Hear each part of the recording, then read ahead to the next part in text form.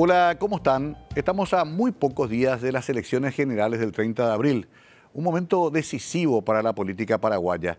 No solamente porque se puede generar eh, una alternancia en el poder, sino sobre todo porque se deciden cargos fundamentales en la República, entre ellos la Cámara de Senadores, quizás el colegiado político que tiene mayor eh, fuerza política en nuestro país, que tiene influencia directa en las decisiones y que muchas veces hasta puede modificar los destinos de un país positiva o negativamente.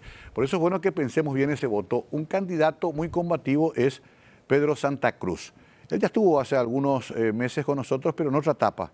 En esta etapa final queríamos volver a conversar con él, pero exactamente lo que está pasando y lo que puede pasar después del 30. Pedro Santa Cruz, les contamos brevemente su biografía y comenzamos a hablar con nuestro invitado de esta noche.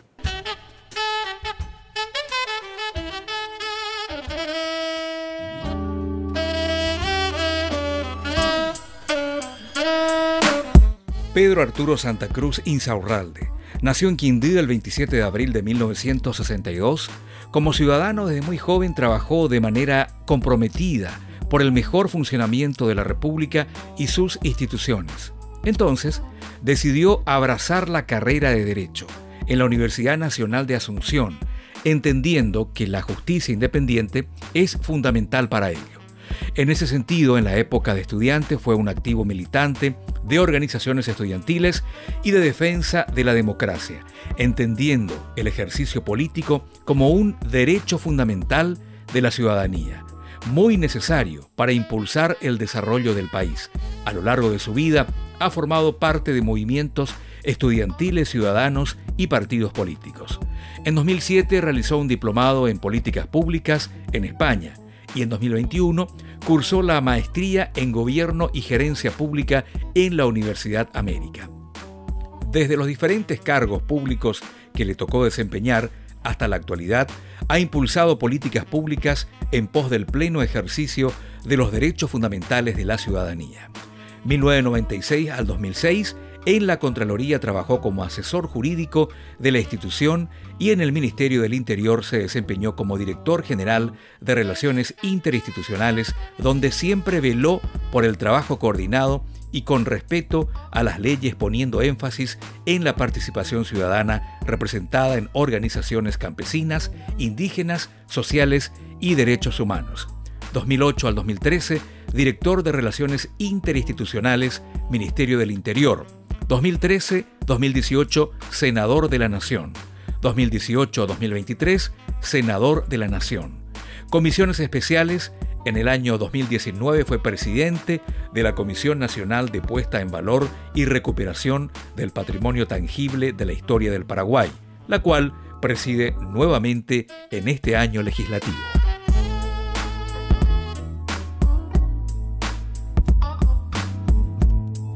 Estimado senador, un gusto saludarte. ¿Cómo estás? ¿Qué tal, Mario? Un gusto estar contigo, con toda la gente que nos están viendo. Y realmente, repito, es un gusto compartir contigo. Para mí también, doctor. Eh, de la última vez estuvimos en que contamos un poco tu historia. Eh, sos del interior. De Quinde. De la famosa ciudad de las pelotas, sí. Quinde, donde tenemos muchos amigos. Eh, hiciste toda tu carrera con mucho esfuerzo eh, y te volviste un senador muy crítico eh, hasta tal punto que estás tocando los cimientos de un sistema de justicia muy corrompido en Paraguay. Algunos decían, no, esto es campaña nomás de Pedro, pero la verdad que lo hiciste de siempre y no pensabas aflojar por lo que veo. No, mira Mario, sobre todo la cosa de hablar un poco de las elecciones tiene una incidencia directa en la justicia.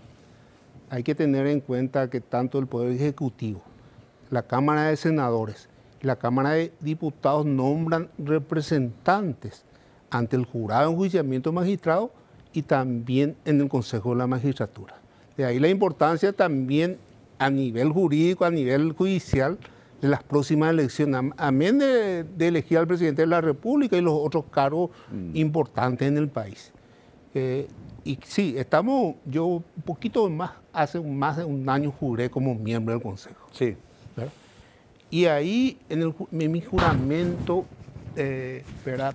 Ante la, eh, ante la ciudadanía y sobre la Constitución Nacional juré transparentar todo el proceso. Y lo estamos haciendo. No de ahora, hace más de un año. Hicimos todo el proceso eh, en el Consejo.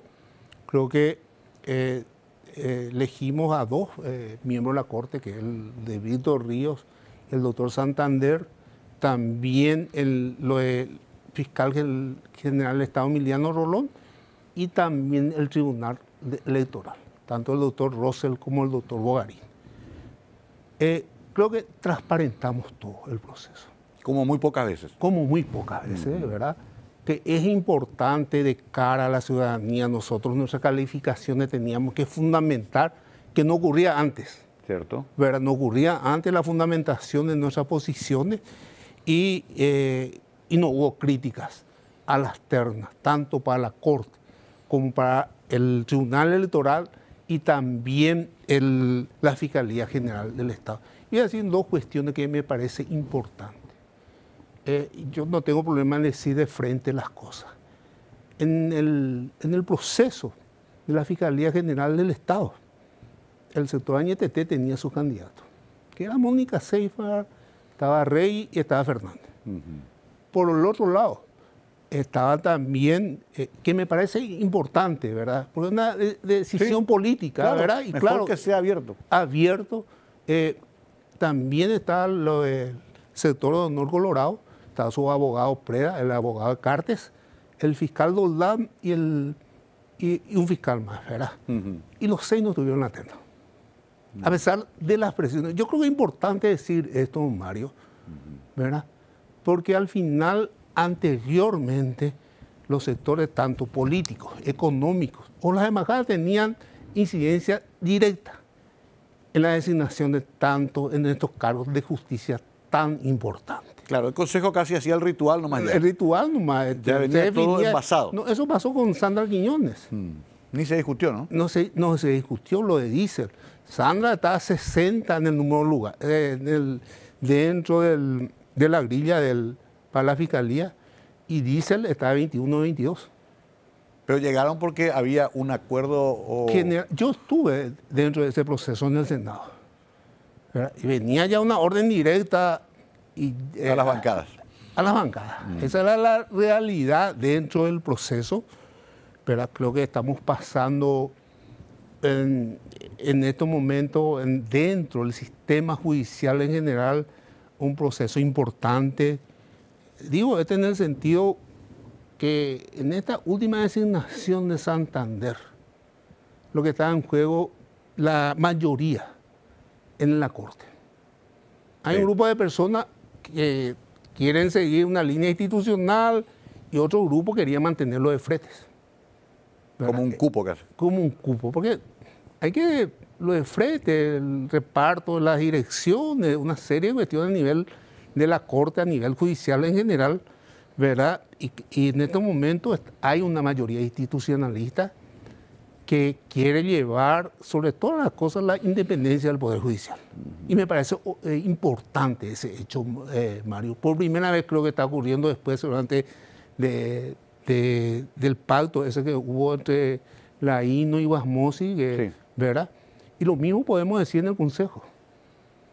Y creo también empezó ese proceso en el jurado de enjuiciamiento de magistrados con la incorporación del doctor Cronawetter, con la incorporación del doctor Ramírez Cambia, del doctor Pacielo, porque a partir de en estos últimos tiempos, especialmente de la época de González Daer, y en este momento hay una mayoría que eh, al final lo único que hace e, era recaudar en el, en el jurado, ¿verdad?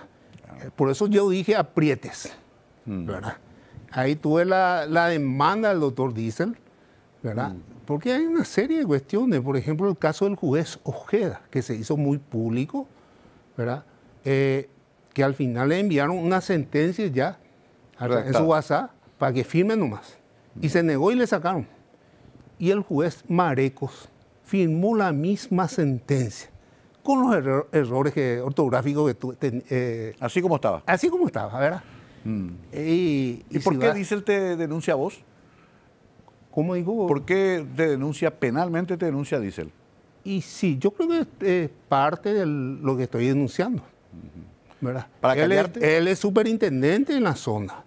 ¿verdad? El superintendente en la zona de Alto Paraná, eh, el jurado de enjuiciamiento, por ejemplo, ¿verdad? Eh, decidió enviar el caso del juez Ojeda a la fiscalía, nunca se remitió. ¿verdad? Eh, hay notas del juez Ojeda a él como superintendente, nunca tuvo, y también notas nota al juez Mareco, que firmó la misma resolución, le protegió. ¿verdad? es todo un sistema lo del jurado de enjuiciamiento de recaudación y de apriete. ¿verdad? Y apriete. Es, y sabemos eso, Mario. El, problema es difícil nomás acceder a las pruebas. Yo accedí a las pruebas, presenté ya ante la fiscalía, la fiscal Liliana Saya ayer tuvo una declaración con, eh, en estos días tuvo una declaración con ella, sí. testificar, presenté mis pruebas, yo sigo esto, no me voy a volver atrás. Porque hay que decir que hay una suerte de amedrentamiento. Ustedes se acuerdan del, apoderado general del Partido Colorado, Eduardo González, me envió escribando en el Consejo. Eh, ahora se suma la denuncia penal del doctor Diesel. Y digo esto, una cuestión, creo que en primer lugar en mi calidad de parlamentario, claro.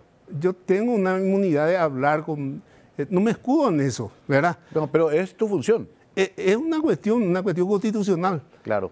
Por eso yo tomo como un amedrentamiento, ¿verdad? Todo esto que está pasando eh, y forma parte, yo no me vuelvo atrás. en esto voy a seguir transparentando. No es una cuestión de campaña electoral, porque hace un año estoy, lo estoy haciendo. Sí, de que eh, entraste en el Consejo, ¿verdad? ¿Y por qué resiste, ante la pausa, después vamos a desarrollar más, por qué resiste y cómo resiste Bogarín Alfonso?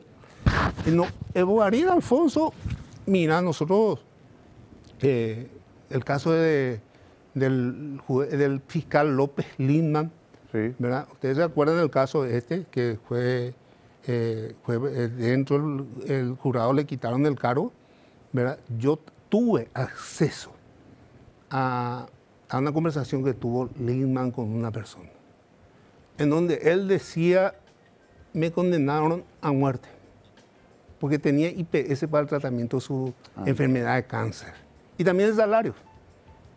Bueno, le, quitaron. Le conocer el tema porque también pasaste. Sí, pasé por eso. Mm. ¿verdad? Y lo único que en el cáncer no puedes no tener medicamento. Eso es esencial. ¿verdad? Eso es esencial y por eso presentamos... ¿Ese fue el caso de la violación, un caso de abuso sexual? Sí, sí, sí, mm. sí. En general, eh, eh, no, el caso de abuso es la cuestión de, Ojeda, pero digo nomás una cuestión, eh, una cuestión, también va a ser López Lima está en eso, pero el caso de López, ¿verdad? le quitaron el IPS. su salario, en un momento él más necesitaba. Imagínate lo que es eso, ¿verdad?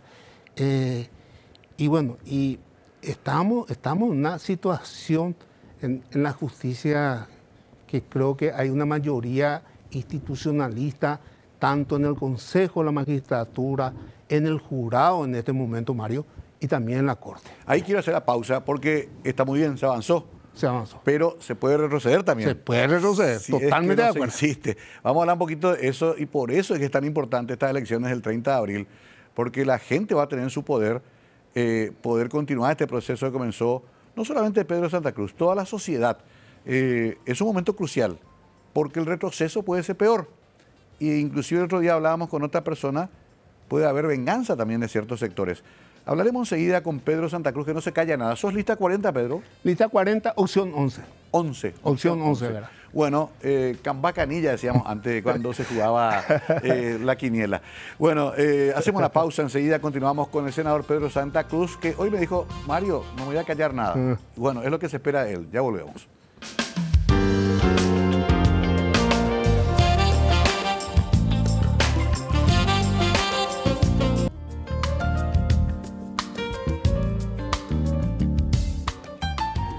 Pedro Santa Cruz con nosotros. Eh, evidentemente hubo avances, eh, lo dijiste bien Pedro, pero se tiene un temor a una reacción virulenta, sobre todo al amparo de un triunfo político que también puede ocurrir en los sectores más recalcitrantes. Eh, ¿Cómo sostener esto? Mira, en el proceso de Santander realmente hubo mucha presión. Porque es cierto lo que vos decís, no solamente está en juego toda esta situación, también se especula, o sea, eh, especulamos con una cuestión de la extradición de Carter y Hugo Velázquez. Sí.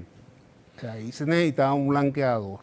Nosotros tuvimos 26 rondas de, votaciones en, el, Consejo para la Corte. Me acuerdo. ¿Verdad? Entonces hay una suma de intereses eh, dentro del sistema judicial, está las presiones de sectores económicos, de sectores políticos, de sectores, e incluso de embajadas, ¿verdad? Sí. Eh, porque esa es la realidad que tenemos ¿verdad? Eh, en la cuestión del sistema judicial en general.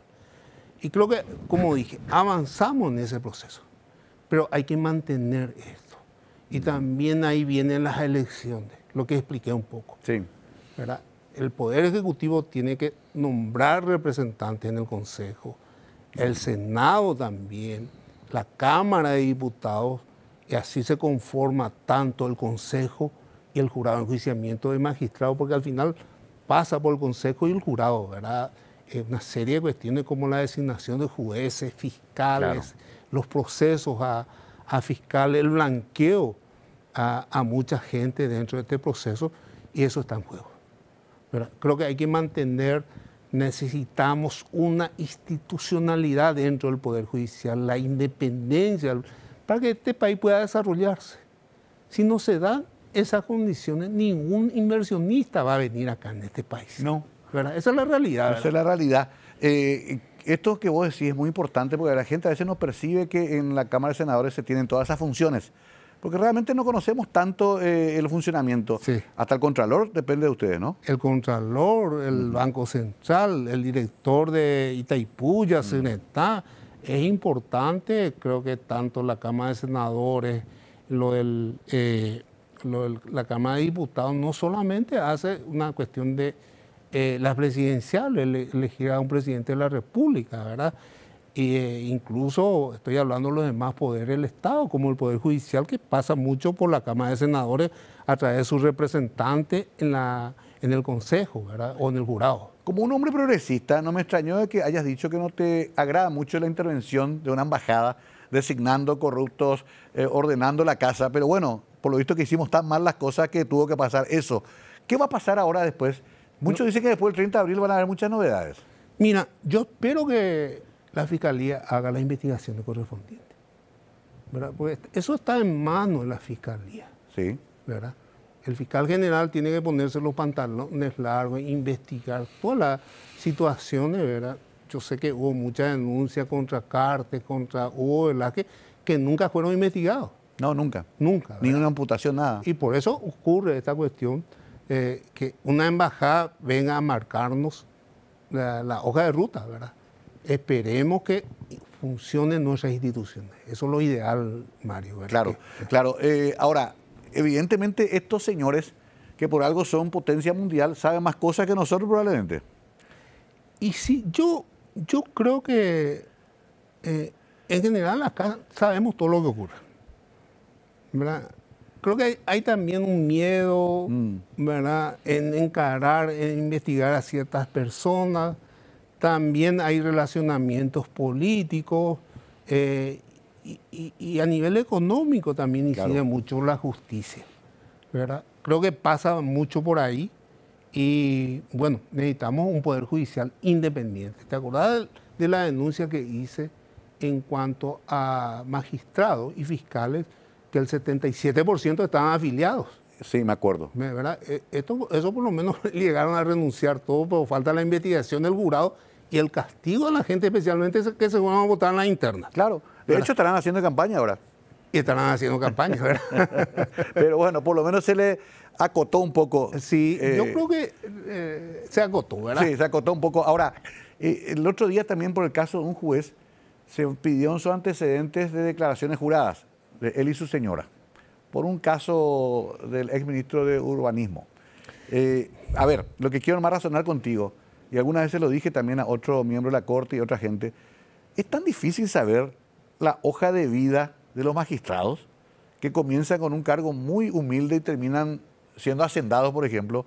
¿Cómo es posible eso?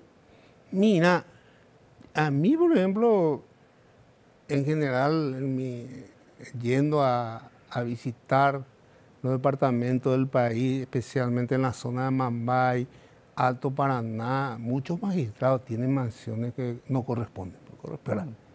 En su mayoría. En su mayoría. Esa es la realidad. ¿verdad? Eh, creo que los datos están, ¿verdad? Y los hechos también están. Falta nomás que tanto la Corte Suprema o la Fiscalía inicie la investigación de estos hechos. Porque es comprobable. Claro. ahí falta la voluntad. La voluntad, a, eso me refiero. Falta la voluntad, ¿verdad?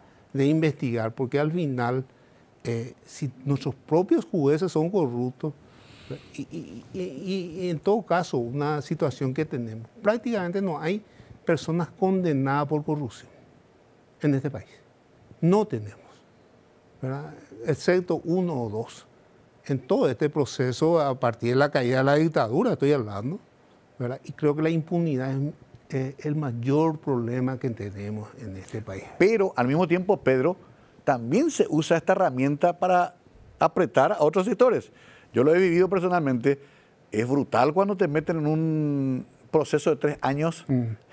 desde mm. la plata, desde la poder político y tener que defenderte de una de una, rosca, de, una un esquema que te viene encima. Que te puede liquidar. ¿verdad? Y, eso está acompañado muchas veces, eh, está acompañado por medio de comunicación. Sí, también, lastimosamente, sí. Eh, eh, en muchos casos, y, también sirve, para el apriete político.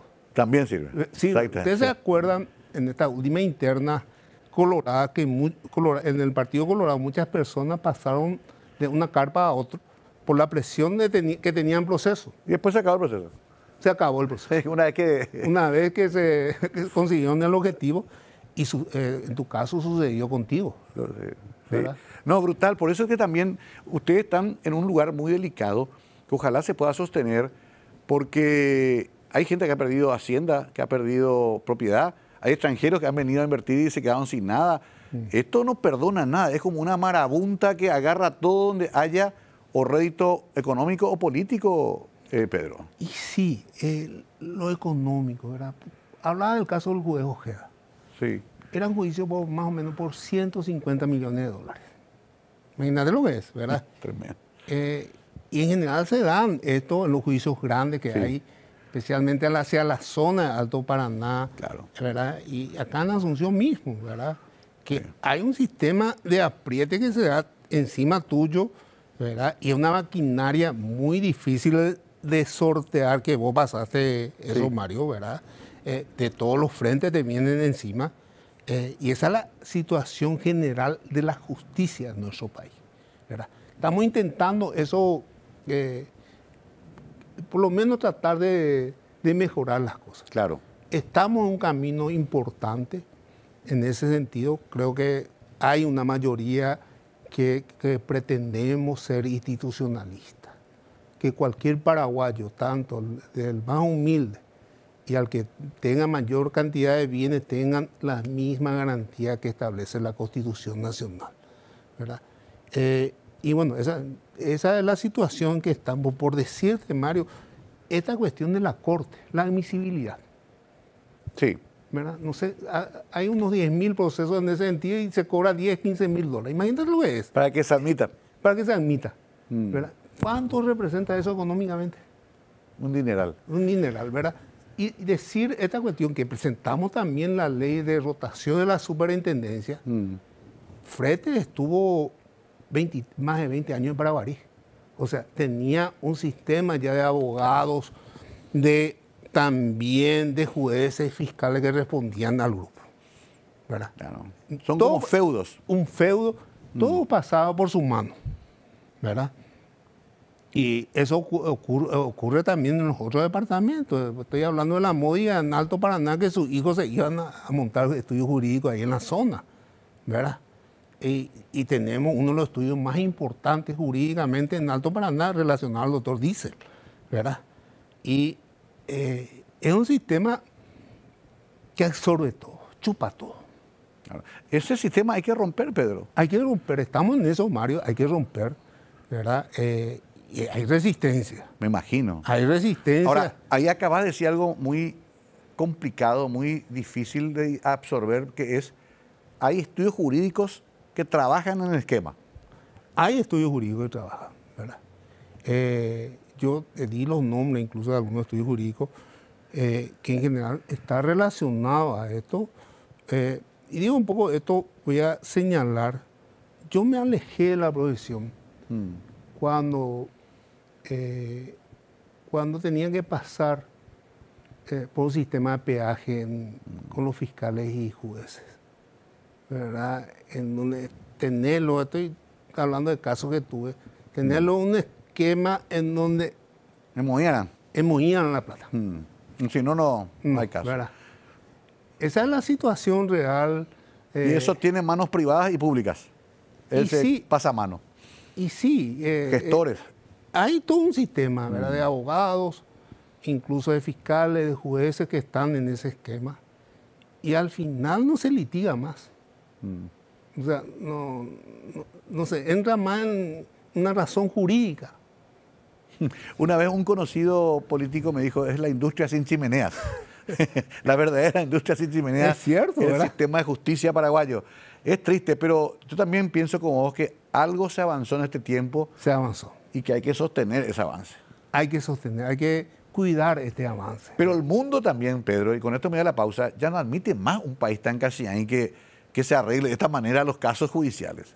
Ya no, vamos a salir del, del contexto del mundo si seguimos así mina, sobre todo las cosas perjudican al país.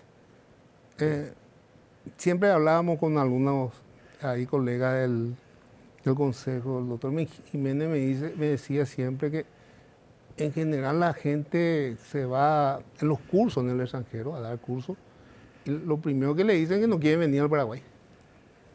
¿verdad? Por la apriete que hay, el, sistema que tenemos eh, judicialmente, jurídicamente la seguridad jurídica, ¿verdad? Entonces, hay que romper esto para desarrollar. Vamos a la pausa. El doctor Pedro Santa Cruz con nosotros, senador nacional. Él está de vuelta candidatado. Es un hombre que necesitamos. Eh, yo no, no sé, no, no le he prometido dar mi voto porque el voto es secreto, pero necesitamos más Pedro Santa Cruz en nuestra política justamente para seguir combatiendo este flagelo que es esta estructura siniestra que decide la vida y, y hacienda de las personas. Es muy grave. Enseguida volvemos.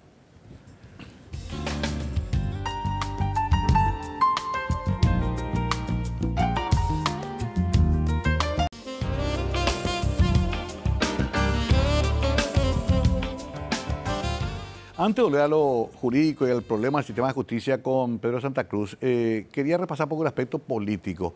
Eh, Está todo muy atomizado, sabemos que la oposición no ha logrado de vuelta una candidatura única para la presidencia.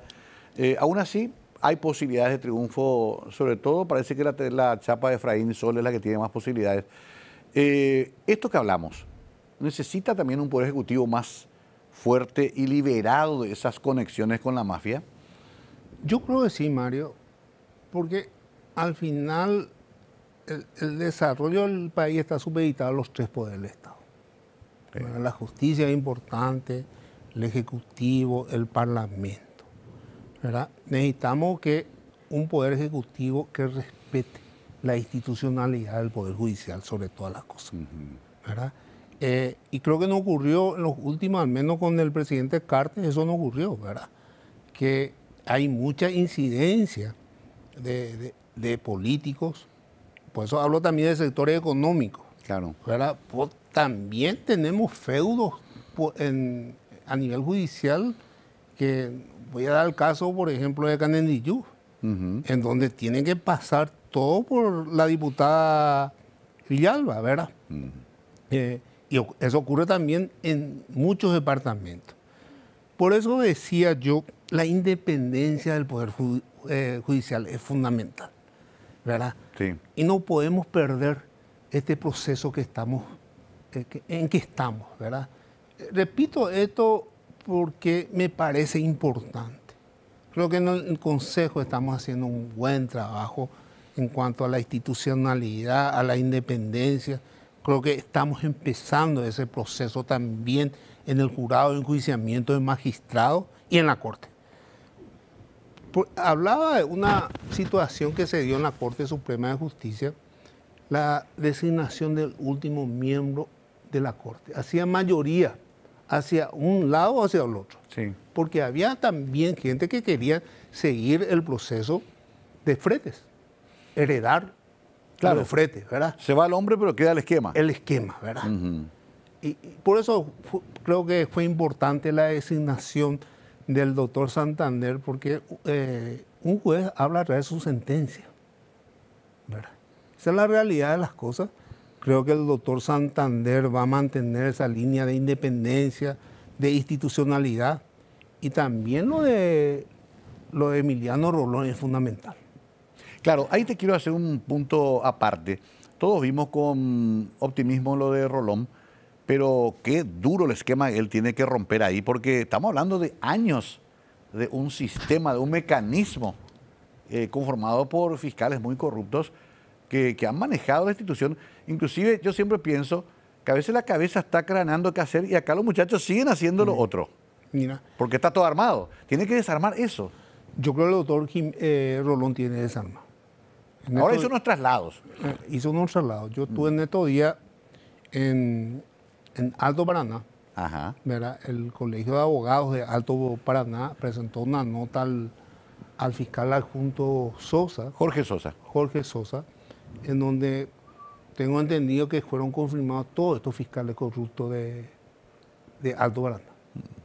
Yo creo que hay que barrer con eso. Claro.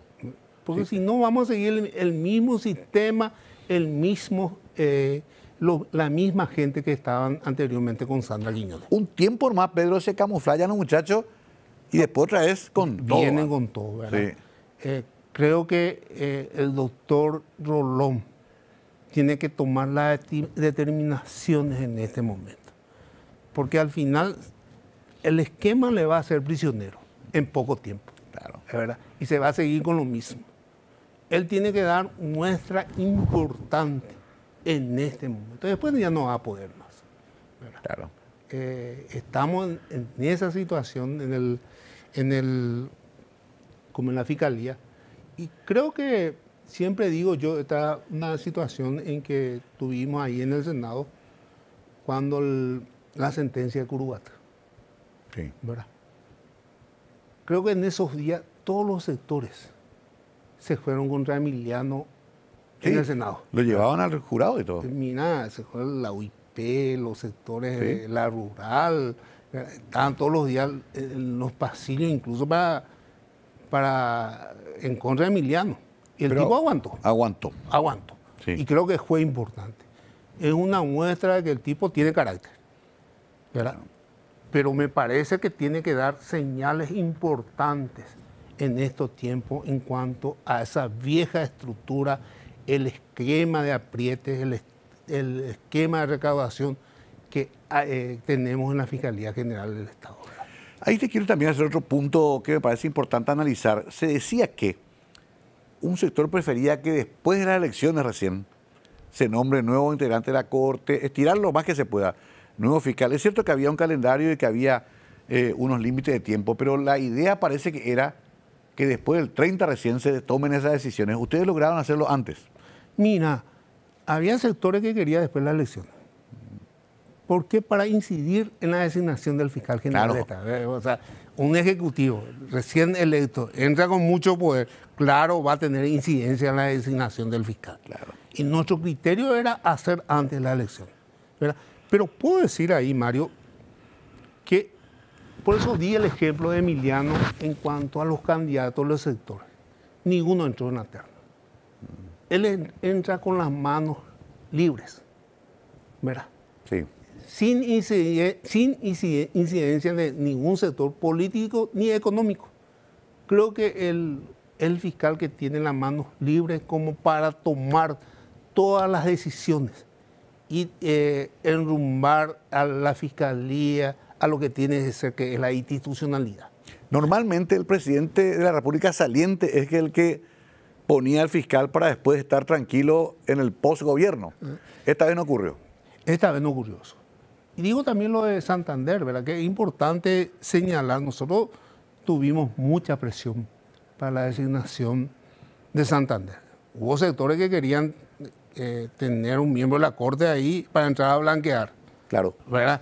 Porque tenés que darte cuenta que muchos, muchos miembros del Ejecutivo o parlamentarios tienen proceso. ¿Verdad? Y al final la, presión era que entre un blanqueador, ¿verdad? Ahí, mm. ¿verdad? Pero logramos sortear eso, podemos decir, por eso estoy diciendo, las últimas decisiones que, tenemos en, que tuvimos en el Consejo fueron importantes. Eh, tanto el doctor Santander y el doctor Rolón no entraron de ninguna mano, ¿verdad? Ni, de ningún sector político. Tienen las manos libres para eh, realmente eh, enrumbar eh, tanto la Corte o la Fiscalía hacia una institucionalidad y el sistema judicial en general hacia una independencia, ¿verdad? ¿Qué es lo que necesitamos? Por eso la gente que está viendo debe pensar muy bien, no solamente en su voto nominal por presidente y vicepresidente, sino también por los parlamentarios. Eh, Peala ese temor, Pedro, porque los muchachos están viendo como una confrontación más de poder ejecutivo, porque somos un país presidencialista culturalmente. Mm.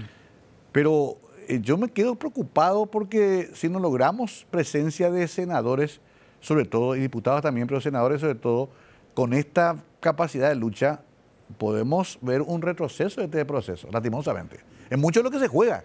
Es mucho lo que se juega. Por eso uno toma como una elección presidencial, nomás una elección nacional. Pero lo que están detrás de esto claro. Eh, eh, es una cuestión demasiado importante, el Poder Judicial, la integración del Consejo, la integración del jurado de juiciamiento de magistrados. Tenemos una serie de cuestiones, lo de Itaipú, lo de Yacyretá, los directores, ¿verdad? Sí. Eh, todo hace a, una cuestión general de funcionamiento del sistema republicano. Siempre fuiste muy defensor también de la lucha campesina. Y eso te ha costado también porque se ve con desconfianza. ¿Qué piensa la gente del campo, el campesino, la gente de la lucha? ¿Qué piensa de esto? Mira, yo creo que todos los paraguayos nos merecemos vivir mejor. ¿verdad? Eh, en general, creo que el país necesita una reforma agraria integral. ¿verdad? Y digo, creo que eh, esta situación, eh, la cuestión de la tierra, que ahora por los precios que tiene, hay que debatir suficientemente. Y doy un dato, Mario, que es importante señalar. un informe del INDER nosotros tenemos 1.200.000 hectáreas que son tierra del Estado. Entre ellas, entre esas tierras está la de Antevicue, que son 300.000 hectáreas, ¿verdad? Tenemos también asentamientos abandonados y eso, la suma total es de 1.200.000 hectáreas. Que con eso podemos hacer la reforma agraria, ¿verdad?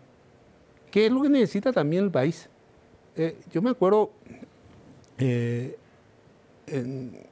estuve en Taiwán en un momento dado, estaba hablando ahí con, los ministros y me está diciendo nosotros eh, llegamos a desarrollar el país después de una reforma agraria. Mm.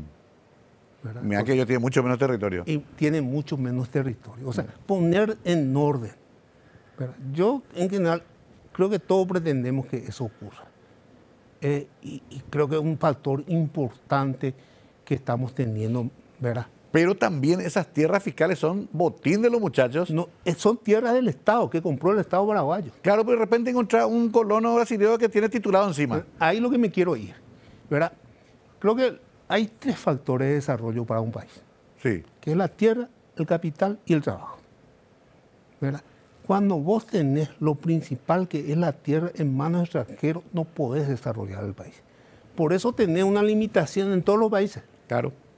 Argentina limita a mil hectáreas, Brasil a 25% de la extensión de un municipio y también en la época de Strone había una limitación. Porque al final los dueños de las tierras están en San Paulo, están en Buenos Aires, están en Montevideo, están en España y el dinero que produce acá en nuestras tierras se van a esos países. Ahora no hay ese límite. No hay ese límite. Y se calcula, creo que el como unos 20 millones, o sea, eh, una porción, 9 millones de hectáreas están ya en manos extranjeros en este. Y con eso no vamos a poder desarrollar el país.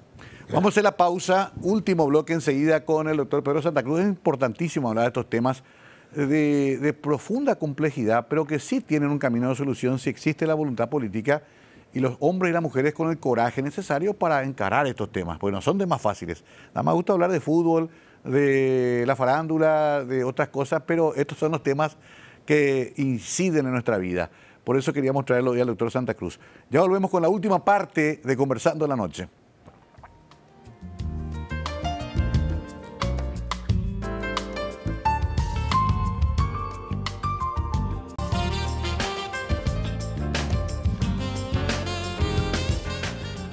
El doctor Pedro Santa Cruz es candidato a senador, ha sido uno de los más activos también en este periodo que está terminando y ha sobre todo confrontado con sectores muy poderosos. sistema de justicia es una de tus obsesiones, luego por lo que veo. El tema agrario también, porque venís de esa procedencia, también conoces el campo, sabes lo que sufre el campesino y lo que tiene que hacerse. ¿Qué otros aspectos te preocupan, doctor? Mira, yo creo que la cuestión tributaria, tanto la cuestión de tierra, la cuestión tributaria, hay que tener un debate importante. ¿Verdad? Nosotros tenemos una presión tributaria que eh, está por el 9%, en la región está 20%, ¿verdad? Y este país, con la recaudación que tiene, es insostenible. Porque nosotros si venimos como políticos a decir, voy a solucionar el problema de salud, si no tener presupuesto, estamos mintiendo. Claro. ¿Verdad? No mm. podés porque necesitas duplicar tu presupuesto de salud pública. Pero ahí los sectores que pagan dicen, nosotros ya pagamos mucho, cobren nada, otros que no pagan.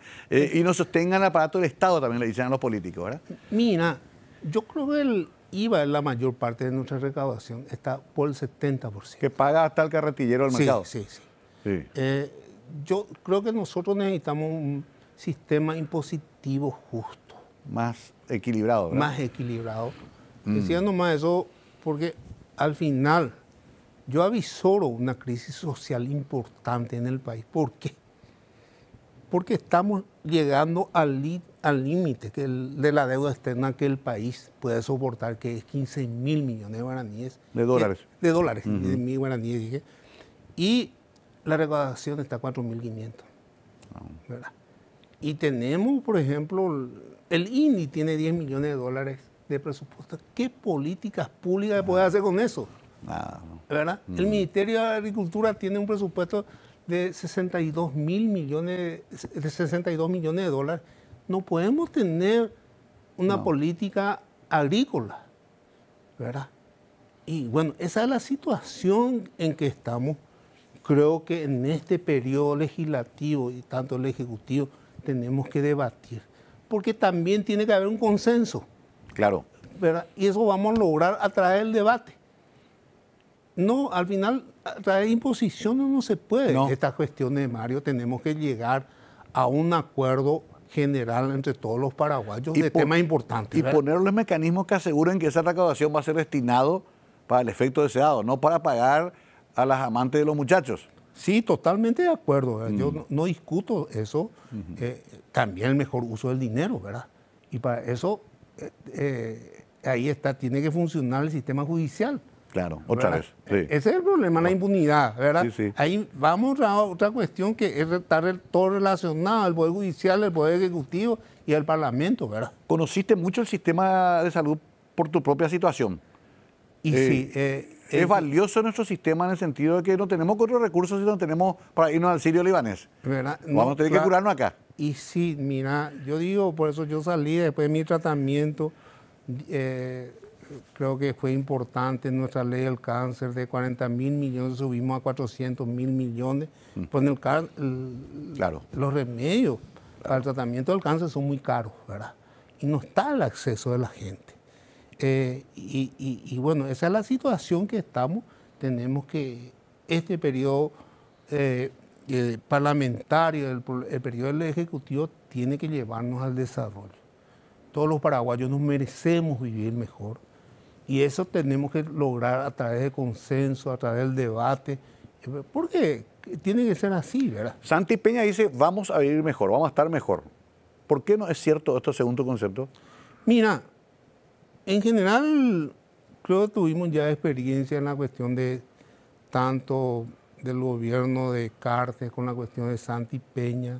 Eh, y no he visto una, cuando, al menos cuando fue ministro de Hacienda, ¿verdad? no he una política tributaria, una política de discusión en materias que, que son importantes para el desarrollo del país. Y otra cuestión fundamental, una persona para ser presidente tiene que tener carácter ¿eh? y determinación. Yo creo que Santi Peña es una persona manejada de afuera, ¿verdad? Eh, eso vimos en todo el proceso eh, electoral, es manejado por Horacio Cartes y necesitamos un presidente con autonomía, que no responda a ningún sector, tanto económico que, u a otros sectores, ¿verdad? Que necesitamos un presidente que eh, responda a un desarrollo del país donde haya más trabajo, más seguridad, más seguridad jurídica, más independencia del Poder Judicial y eh, eso está en juego el próximo 30 de abril. Bueno, se nos acabó el tiempo, lastimosamente, porque da gusto escucharlo a Pedro y entender estos problemas tan complejos. No será la última vez que hablemos. Ya estamos en una cuenta regresiva, ya llegan las elecciones, usted tomará su decisión. Eh, ¿Coraje no le falta, Pedro? Mm, ¿Te amenazan un poco? Y mira, en general siempre hay represalias. Por ah. ejemplo, Eduardo González que me manda escribano, eh, la denuncia penal de, de Diesel. Y también te llegan algunos comentarios, pero yo estoy decidido. la única forma de pararme es que me maten. No hay otra forma. ¿Verdad? Fuerte la frase, la única forma que pare es que me maten, dice Pedro Santa Cruz. De usted depende que él sea o no senador el próximo periodo. Sería interesante tenerlo piénselo tranquilamente. Gracias, Pedro. Gracias, Mario. Realmente un gusto estar, volver a estar contigo. Gracias, pues yo sé que tenés mucha audiencia, que esto llega a todo el país. Y gracias por la oportunidad de compartir contigo tu programa, ¿verdad? Estás en la lista 40, opción 5.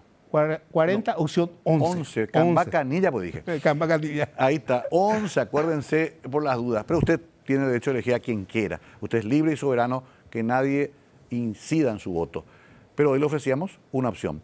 Pedro Santa Cruz. Nosotros nos vamos, será hasta la próxima, siempre aquí en Mega TV.